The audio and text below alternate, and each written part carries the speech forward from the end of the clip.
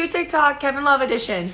Kevin Love almost got his tooth knocked out after being elbowed in the face at a game in 2018. He had a tooth subluxation, which is when the tooth is displaced and loosened from where it originally is in the mouth.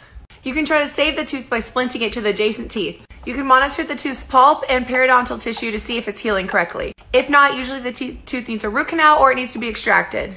I think his was fine, and look at this awesome smile he has.